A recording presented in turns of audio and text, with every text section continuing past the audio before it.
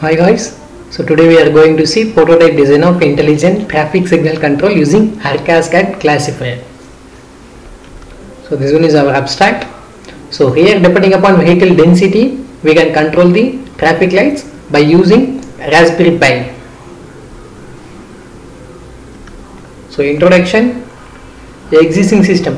So the existing system only humans, traffic police only able to control the traffic lights disadvantages here traffic congestion no means to detect traffic congestion number of accidents are more it cannot be remotely controlled more manpower required uh, less economical.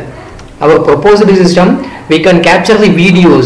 So cctv videos we capture the videos. In that videos we can count the number of vehicles present in that videos. And then uh, counting will be uploaded into our cloud storage like iot page so cloud uh, counting number of counting number of vehicles present uh, that count will be uploaded into our page depending upon counts in that particular LAN or particular signal so it will control the uh, traffic signal by using Raspberry Pi. So advantages minimizes number of accidents, reduces fuel cost and saves time, low budget, easy implementation and maintenance. Here software is IoT web page, Python programming IDLE and then Raspbian OS we need. So hardware requirements uh, Raspberry Pi 3B plus Pi camera. Block diagram. This is our block diagram. So Pi camera used for capturing the video or CCTV camera uh, like predefined already we had a video means directly we can upload the into Raspberry Pi.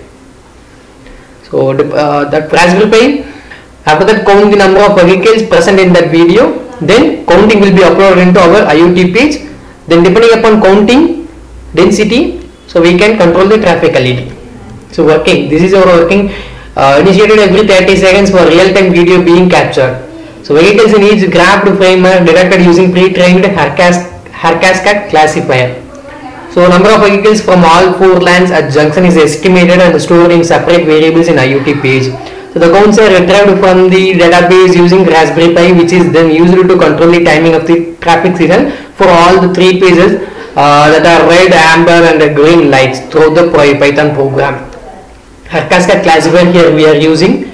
So workflow means camera feed. Uh, we can feed the our video.